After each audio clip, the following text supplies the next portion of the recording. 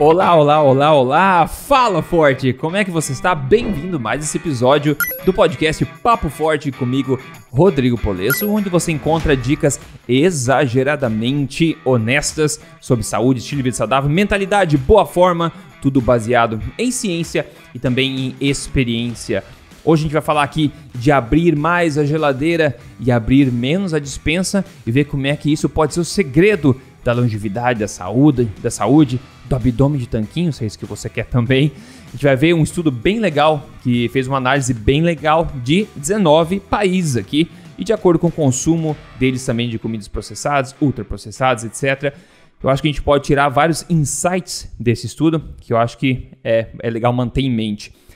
Para começar nossa conversa, eu quero responder uma pergunta da comunidade aqui, para a gente começar aquecendo. Quem pergunta é o Fabrício Cunha de Andrade. Lembrando que você pode fazer perguntas para mim também nas minhas mídias sociais. Você pode me seguir no Instagram ou no YouTube, onde você quiser. Manda uma pergunta, ela pode correr o risco de ser respondida aqui no podcast. Maravilha? Então, Fabrício Cunha de Andrade perguntou: Rodrigo, eu tenho uma dúvida. Eu treino normalmente na hora do almoço e faço uma hora de crossfit. Eu começo o meu treino em jejum, contudo, no meio da aula eu tomo pequenos goles de isotônico, bebida adoçada. Como eu estou no momento de queima calórica grande, isso irá interromper o jejum? Bom, essa pergunta interromper o jejum é uma coisa que a gente já falou muito, eu já falei muito né, na vida sobre esse assunto, mas o ponto principal aqui, nesse sentido, eu não me preocuparia tanto com a questão do jejum. Eu me preocuparia mais com o elefante que está na sala, né? O elefante que está na sala. Não tem nem espaço para sentar no sofá, porque aquele elefante com aquela bunda grande empurrando todo mundo, na é verdade. O elefante aqui é esse isotônico, né? A pergunta deveria ser: você devia se preocupar mais com a, esse isotônico do que com o mero fato do jejum, não é verdade? Se você toma alguma coisa doce, é claro que é doce esse isotônico, porque é mais gostoso tomar doce, as pessoas se viciam nisso, a pessoa gosta de exercitar tomando algo doce, é fácil entender como você cria este hábito de tomar algo doce. Agora, você se exercita por uma hora, você geralmente, pelo menos 99,9% das pessoas, não precisaria tomar isotônico nenhum com esforço desse nível, né? Os seus eletrólitos vão estar tá tudo bem. Quando você comer depois, você vai repor os eletrólitos sem problema. Agora, se você se mete a fazer uma ultramaratona, passar o dia inteiro correndo, por exemplo, você corre o risco de ter um problema aí de eletrólitos com certeza. Um bom é, isotônico natural, por exemplo, é você colocar um pouquinho de sal, sal marinho na água enquanto você estiver se exercitando. Se você quiser, mas eu falei, nesse tipo de exercício, eu não vejo necessidade de você fazer isso. Mas você poderia, se você quer colocar alguns eletrólitos no, é, no seu corpo antes ou depois ou durante o exercício, uma pitada de sal mineral, né, de sal ou de sal marinho, por exemplo, sal não refinado, é uma ótima ideia porque ele vem carregado desses eletrólitos que podem ajudar o seu corpo a repor o que você sua e tudo mais.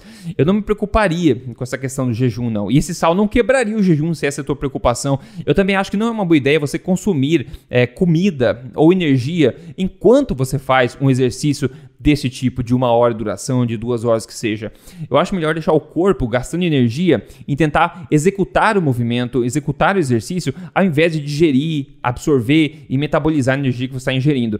Inclusive, a gente já comentou, do, não lembro quem é agora, o atleta olímpico é, asiático que sempre treina em jejum, porque ele quer toda a performance focada no exercício, ele não quer o corpo ficar é, despendendo energia em processar alimentos de forma alguma. A gente se sente mais leve, literalmente. Né? Então, essa é a minha resposta para você. espero que tenha sido útil. Partindo agora, pessoal, para o assunto que eu falei aqui da sobre a geladeira e a dispensa. Esse foi um estudo conduzido pela Universidade de Cambridge e publicado em 2017, em que analisou 19 países, analisou a associação que existe entre quanto, quanto, qual a porção, a proporção do orçamento familiar, né? de uma casa que é gasto em alimentos processados e ultraprocessados e a relação que isso tem com a obesidade daquele país. E tem coisas interessantes também que a gente pode tirar disso e se beneficiar. Então, os resultados, obviamente, não são tão surpreendentes assim como você pode imaginar. Você tem uma família qualquer, né? Fulano, João e Maria, e os filhos, eles gastam mais da, da sua renda familiar de alimentos, gastam mais em comprar alimentos ultraprocessados e processados, provavelmente vão estar associados a maior doença, maior é, prevalência de obesidade, esse tipo de coisa, né? Então, se você faz isso a nível de país, você consegue tirar conclusões similares. E, de novo, isso é uma associação que a gente está falando aqui. Isso é uma, é uma associação de alto nível. Né? A gente está aqui por cima, quanto né, do orçamento familiar de um país as pessoas tipicamente, em média, gastam em alimentos processados, ultraprocessados, e você compara isso com dados de prevalência de obesidade naquele país, por exemplo. Então, é uma informação legal, mas tem que manter em mente que isso é uma associação. Né? Agora, foram. Eu vou falar do Brasil já em seguida, porque tem dados do Brasil também que eles mencionaram nesse estudo. Porém, eles fizeram 19 países europeus e é o seguinte, eles fizeram um gráfico. Se você está vendo esse, esse podcast em vídeo, tá? Eu coloco ele sempre no YouTube. Você pode ver no canal lá, Emagrecer de Vez Rodrigo Polesso. Você vê isso aqui em vídeo. Se você, você pode também ver no Instagram. Eu coloco no IGTV lá esses, esse podcast em vídeo. E se você está em áudio, eu vou explicar para você o gráfico, não tem problema nenhum. Tá em, esse podcast é disponível em áudio, se você prefere escutar, em todas as plataformas de podcast, Spotify, Google, Apple, etc. Então vamos lá. Eles têm um gráfico aqui na minha frente que eu vou descrever para vocês agora, que na, no eixo Y a gente tem a prevalência de obesidade, né? Que começa lá embaixo em zero e sobe até 25%, né? Quanto de obesidade tem naquele país? E no eixo X aqui, horizontal, a gente tem quanto do orçamento, a porcentagem do orçamento familiar que é gasto em comidas ultraprocessadas. E aqui, para categorizar comida processada ou não, eles utilizam uma classificação chamada NOVA. A nova é uma classificação que vai de 1 a 4, sendo 1 alimentos não processados, que eu sempre advoco aqui, né? É, alimentos de origem animal, de um único ingrediente, por exemplo.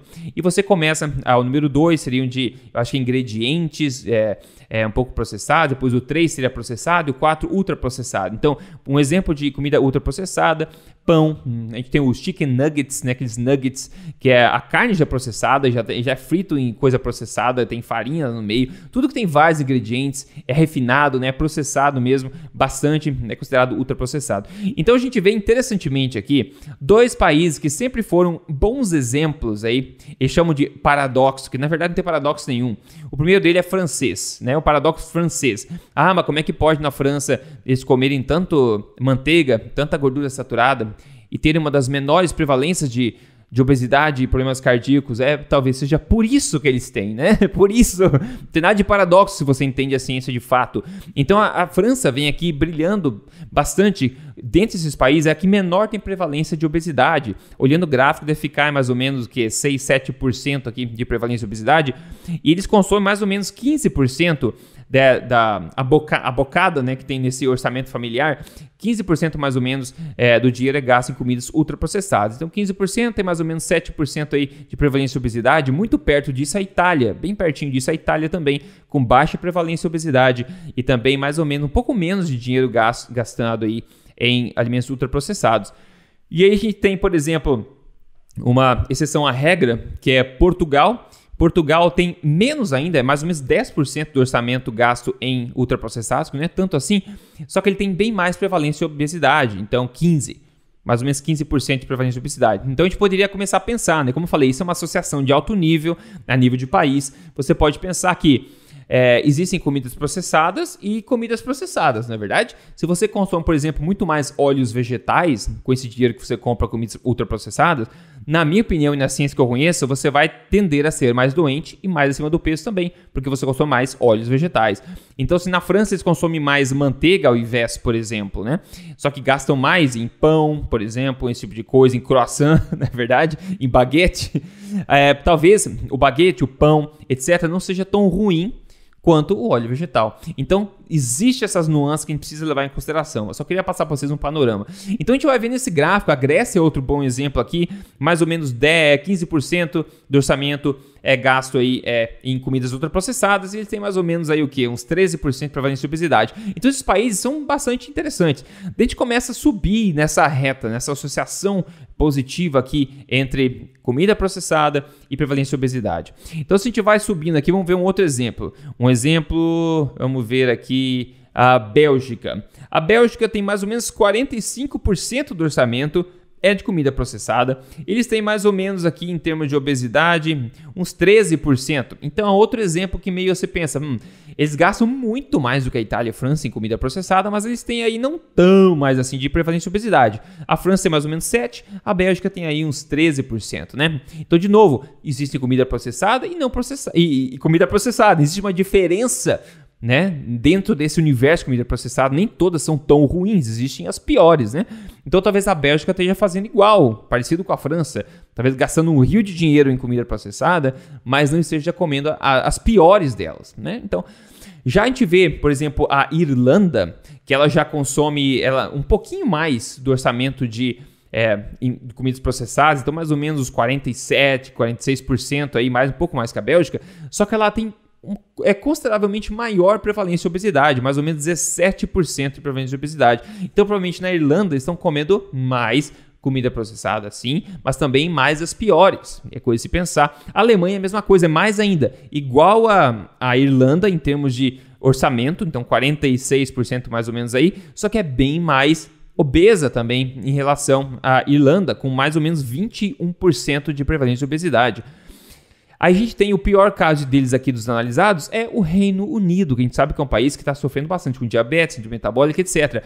De, aqui eles têm o maior, a maior bocada do orçamento gasto em comida ultraprocessada, mais ou menos 50% do orçamento, imagina, gasto em comida é, processada aqui, incrível, né? Eles têm a maior também prevalência de obesidade, perto de 25% aqui. E esses são dados um pouco mais antigos, de vários anos atrás. Ah, agora, atualmente, esses dados com certeza são maiores. Mas a gente percebe essa associação, no geral, crescente, né? uma associação positiva ou no caso negativa, se você quiser analisar dessa forma, quanto mais do orçamento você coloca, distribui para comidas ultraprocessadas, mais é, prevalência de obesidade uma população, uma família vai ter, né, é, no geral.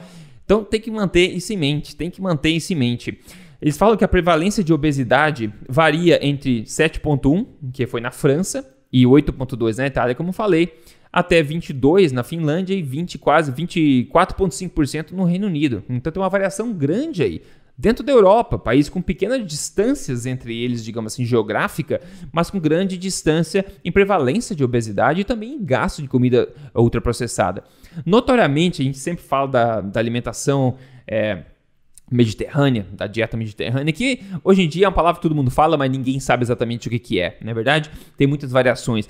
Mas no geral, se é uma coisa em comum em relação à dieta mediterrânea é o menor consumo, no geral, no geral, tá? O menor consumo de alimentos ultraprocessados. Então, se é uma coisa que pode fazer grande diferença, é isso, né? Abrir mais a geladeira e menos a dispensa, comer mais alimentos frescos que estragam. Se o alimento estraga rápido é porque ele é ultra nutritivo. Por que, que ele estraga?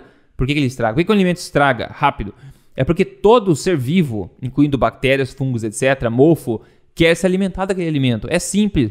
O alimento que mais estraga rápido é o alimento que é mais valorizado, que tem maior valor de vida. É por isso que estraga rápido. Se você pega fígado de, bife, é, de gado, por exemplo, o alimento mais densamente nutritivo para seres humanos que existe neste planeta Terra, se você colocar fígado e deixar ao ar livre, perto de um pedaço de pão, ou de uma fatia de maçã, ou qualquer outro alimento, você vai ver que o fígado vai estragar muito mais rápido, muito mais rápido.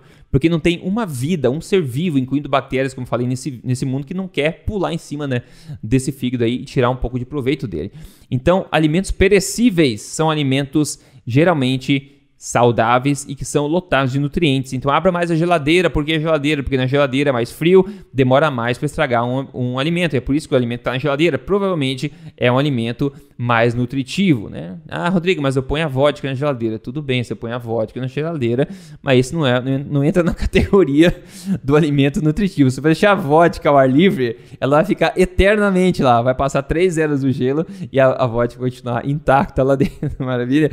Então vocês entenderam basicamente basicamente a dica de você abrir mais geladeira e menos a dispensa. Aqui em casa, basicamente, a gente quase nunca abre a dispensa. Eu tava pensando nisso outro dia. A gente abre a dispensa para pegar o sal ou um tempero ou outro, basicamente, o que a gente faz.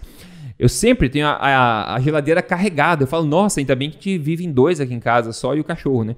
Porque se tivesse mais gente, ia ser complicado de achar lugar na geladeira. Tem que comprar um freezer extra ou duas geladeiras. Porque a gente come da geladeira. A gente não come da, da, da dispensa. Bom, Outra coisa também, deixa eu ver aqui. Ah, eles falam que existe uma grande variação né, nas estimativas aqui de quanto, de quanto as pessoas comem é, comidas ultraprocessadas. E eles falam que é, num outro estudo que eles viram, né? E falam que esse intervalo vai desde 21,5% do total de, de calorias da dieta, tá? 21,5% do total da, das calorias ingeridas na dieta no Brasil, nesse estudo que eles viram, vinha de comidas ultraprocessadas. 21,5% das calorias era de comida ultraprocessada, ao passo que nos Estados Unidos era de 57,9%, mais do que o dobro, tá? Mais do que o dobro. Nos Estados Unidos, os Estados Unidos é notoriamente bem mais obeso também que o Brasil, mas o Brasil está tentando competir também com o aumento de comidas processadas. Então, como eu falei, esse é um estudo um pouco mais antigo, então a gente tem esses dados um pouco desatualizados, e só o que aconteceu foi crescer, pessoal, não diminuiu nada aqui, né? Então, quando eles viram 21% das calorias diárias no Brasil ingeridas de comida ultraprocessada e quase 60% nos Estados Unidos. Incrível. Na questão do Brasil, eles mencionaram alguns estudos, né? vários estudos foram feitos já no Brasil, no mundo inteiro, sobre gorduras processadas e saúde. No Brasil, eles falam o seguinte: ó, no Brasil, é, o maior, a maior disponibilidade de alimentos ultraprocessados numa casa foi associado com maior prevalência de excesso de peso, né? novidade, e obesidade, como a gente falou, em todos os grupos, todas as idades, todas as faixas etárias. Isso depois de controlar por fatores né, é, sociodemográficos, é, variáveis sociodemográficas e porcentagem de, de, de, de, gasto em comida na casa e tudo mais. Então, óbvio, né? Não é difícil de entender como isso acontece. Quanto mais comida ultraprocessada você encontra na casa de uma pessoa, mais ela vai tender a ser uma pessoa acima do peso e com obesidade. Eles falam ainda de outro é, estudo brasileiro que reportou também, é, em, que foi analisado em adolescentes e também adultos, que a quantidade, o primeiro quintil, dessa, né, quer dizer, o último quintil né, desse, desse estudo aqui, é o que mais comia, mais consumia comida ultraprocessada e teve significativamente um maior índice de massa corpórea, não é verdade? Maior índice de massa corpórea e risco de ficar obeso também, comparando ao primeiro quintil que comia a menor quantidade de alimentos ultraprocessados, de novo, é, controlando por variáveis socioeconômicas, etc. E por fim, eles falam também de outro estudo que achou uma associação entre o, a, o consumo de comidas ultraprocessadas com é, síndrome metabólica em adolescentes brasileiros. Ai, difícil, né, pessoal? Mas também muito fácil de entender porque que isso acontece. Síndrome metabólica está fortemente associada com porcarias que a gente come no dia a dia, comida ultraprocessada é o grande foco nesse sentido, né? Então a dica é muito clara, é você comer mais a geladeira e menos a dispensa, e isso em outras palavras significa você consumir mais alimentos de verdade e menos alimentos produzidos, refinados, processados. Mais alimentos da mãe natureza, menos alimentos da madrasta indústria. Não vou, não vou demonizar a indústria inteira, porque a indústria tem um papel interessante, né? tem indústrias idôneas que produzem alimentos de verdade também. Então a gente pode patrocinar as indústrias corretas com o nosso realzinho toda vez que a gente vai comprar alguma coisa lá dentro, né? Lá no, no supermercado, por exemplo. Vou contar para você já a dica exageradamente honesta de hoje, no caso sucesso de hoje também, o que, que eu degustei na minha última refeição agora. Só para lembrar vocês, para você passar esse podcast à frente. A informação baseada em ciência, em experiência de mais de 12 anos que eu estou nessa vida aqui agora, é passa para frente o Papo Forte com Rodrigo Polesso, 100% gratuito, você pode ouvir, você pode assistir, a informação gratuita para tentar impactar a maior quantidade de pessoas possível e mostrar para essas pessoas que liberdade alimentar é possível, é uma realidade muito mais saborosa que as pessoas imaginam. Isso também saúde e boa forma. A gente consegue viver com boa forma, com estilo de vida saudável, saboroso, sem sacrifício. É só você saber das informações corretas. Então fala pra galera, para, vamos lá, escutar o papo forte com o Rodrigo lá. Mas não pode ter medo, né? Porque ele fala as coisas na lata. Eu falo mesmo, porque eu acho que é a forma mais direta de se dizer alguma coisa é a melhor forma, né? É a forma. Ficar sem rodeio, dizer as coisas direto como tem que ser dita realmente. O caso de sucesso de hoje, quem mandou para mim aqui foi a Cristiane Cláudio. Parabéns, Cristiane. Ela falou com suas dicas, eu eliminei 20 quilos. Então, parabéns. 20 quilos, ela mandou a foto do antes e depois dela aqui. Muito legal, grande mudança. Fazendo uma alimentação forte, uma alimentação correta, baseada em alimentos de origem animal, não processados, na sua enorme maioria. Não tem segredo, é só saber as poucas coisas que funcionam sempre. E na minha última refeição, eu fiz uma coisa em casa que eu particularmente não tinha feito ainda. Eu já comi várias vezes, eu adoro esse alimento, mas eu resolvi, eu encontrei no mercado e resolvi fazer. Eu comprei uma língua, língua de boi, língua de boi. Comprei a língua inteira e fiz na pressão. Então eu dei uma fervida nela antes, depois eu joguei na panela de pressão e fiz isso e comi com sal depois, com acompanhamento, delícia simples, muito bom. Eu postei no, Instagram lá, o pessoal sempre manda, ah, Rodrigo, faz assim, porque aqui no Nordeste a gente põe isso, aqui no Sul a gente põe aquilo, então eu sempre acabo é, pegando informação e tirando ideia de vocês também. Mas língua é uma coisa deliciosa. Quem nunca comeu língua? A minha, a minha esposa aqui, a minha noiva, na verdade, nunca tinha comido língua. E ela gostou bastante. Gostou bastante. E, e eu convido a quem nunca comeu tentar fazer. Tem uma coisa diferente, é bem macia, tem que fazer na panela de pressão. Dá para temperar da forma que você preferir. Uma, inclusive, uma das especialidades. Ah, não, não é uma especialidade do meu pai. Ele gosta de fazer. Mas não é língua, não. Ele gosta de fazer carne com, com molho e ervilhas. Mas gente, um, um, um, alimento típico é, o, é língua, né? Feito, língua com, com molho de tomate, assim, uma, tipo uma sopinha de tomate, um molho bacana. Com ervilhas também é um alimento, é, uma, é um prato, acho que tradicional que a gente já comeu. Ele gosta bastante, eu sei. Mas a tua habilidade não é com língua, não, né, pai? Lembra? Você vai me corrigir depois se eu estiver errado aqui, mas eu acho que não é. Mas enfim, é um ótimo alimento para tentar aí. É barato também no geral, pessoal. Então, tentar fazer uso desse tipo de, de, de pedaços dos animais que tipicamente não são os mais procurados, mas não quer dizer que não são deliciosos. Ótimo. E agora, para acabar aqui esse episódio, a dica exageradamente honesta de hoje é o seguinte, pessoal: acorde, acorda de uma vez porque está acontecendo nesse mundo. Acorde, porque ninguém está aqui para te salvar a não ser você mesmo. Quanto mais a gente faz o que eles dizem que é para a gente fazer, mais doentes nós ficamos e mais cheios ficam os bolsos deles, não os seus. E quanto mais nós nos distanciamos disso e mais nos aproximamos do que sempre fez bem, do que continua fazendo bem, do que faz sentido natural e evolutivo, mais saudável nós ficamos e mais em forma nós ficamos.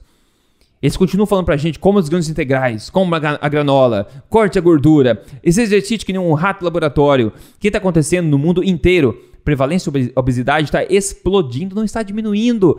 Quanto mais a gente faz o que eles dizem para a gente fazer, mais nós, como população, ficamos mais doentes. E eu acredito que uma população doente e dependente é muito mais fácil de ser controlado e manipulado. Eu acredito nisso, eu acho que isso é verdade. E quanto mais nós se aproximamos novamente do conhecimento eterno da natureza, do que os nossos bisavós faziam desde sempre, por milhões de anos a nossa espécie sempre fez isso, consumir alimentos da sua forma fresca, alimentos naturais, alimentos de um ingrediente, principalmente alimentos de origem animal, né? Quando você se aproxima mais disso, a única coisa que faz sentido é, evolutivo, antropológico e natural é isso. Quanto mais se aproxima disso, mais saudável nós ficamos. A minha vida literalmente mudou quando simplifiquei tudo e vivi comendo mais da geladeira do que da dispensa. Eu acredito que isso pode transformar a vida de muita gente também. Então acorde o que está acontecendo. Acredite ou não, por mais que, nossa, eles devem ter muitos cientistas discutindo, né? Deve ter muita gente no governo pensando muito antes de dizer as coisas. Pessoal, quem nasceu ontem? Você nasceu ontem, eu dei um gnomo para vender para você aqui depois, tá?